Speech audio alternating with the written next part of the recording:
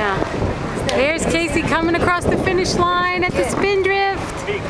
He's the first one across the Spindrift and there's no boats in sight.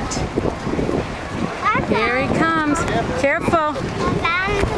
There's Daddy's boat. You see Daddy's boat? That's Daddy and Marc and Brian. Here he comes.